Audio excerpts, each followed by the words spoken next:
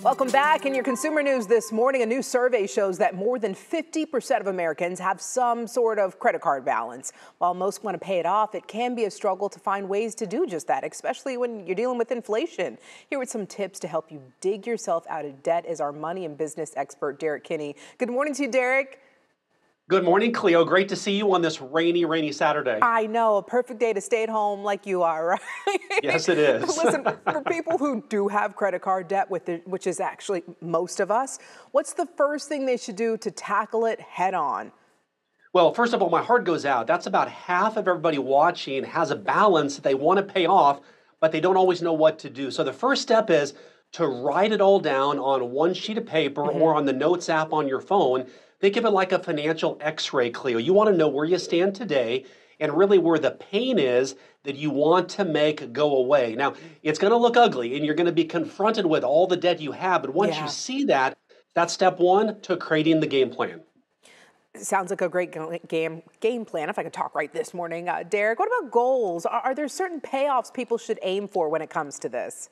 Well, there are, and you want to keep it simple. And so right now we're starting February essentially, so we're one twelfth of the way through the year. What I recommend people do is set a monthly progress goal, mm-hmm. or at a minimum, set a quarterly goal. And you want to meet with the, the one you love the most. It might be your spouse, a good friend, an accountability partner, someone you share, hey, I want to pay off this amount of debt mm-hmm. by this date and I want you to ask me about it because most of us don't want to look into the eyes of someone we care about and say, you know what, I didn't do what I told you I would do. That can really help you make good progress. Yeah, accountability. Another tip you talk about is balancing your budget. Can you explain that? Yeah, so many people just say, well, just spend less, Cleo. Just, just spend less at Netflix and, and don't spend as much at Starbucks in the drive through. But ultimately, you can only save down so much. You've got to ask yourself a hard, tough question, and that is, are you actually making enough money mm. to pay off your debt? Sure, you like to think you could cut, yeah. but you might have to think about do I need to get a side gig, work part time, get some extra hours at my job, ask for the raise, which I always help people with. And that then means you take that money and put it all toward the debt. So be realistic. You may not have enough money to do it, but if you find a way, you can really make progress. And Derrick, you're the expert here. I mean, for some people who are struggling, like you said, is it ever an option where you can call and say, "Listen, I don't want this credit card anymore. Can you just turn it off and let me let me make some payments?"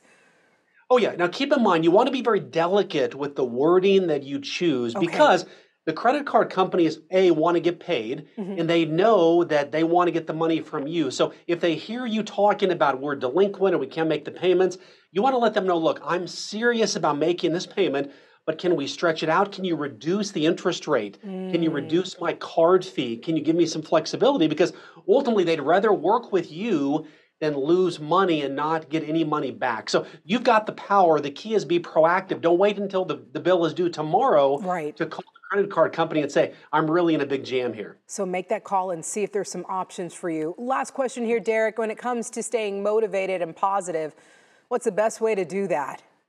Well, lip service doesn't do it, Cleo. And here's what I mean by that is you need to set some goals that motivate you to take action. So for mm-hmm. example, let's say you love that pedicure, you love the manicure, you love that fancy frappuccino at your favorite coffee shop or your nice mixed drink or you like to go to that concert, yeah. you want to sketch out a couple things throughout the year that you and your accountability partner are celebrating. That way, when you're working hard to, to cut and have self discipline and, and say no to purchases, you know you're working yourself toward a goal you want. But keep in mind, all the splurges, you want to pay cash for those. We don't want to put those on credit and really magnify the problem.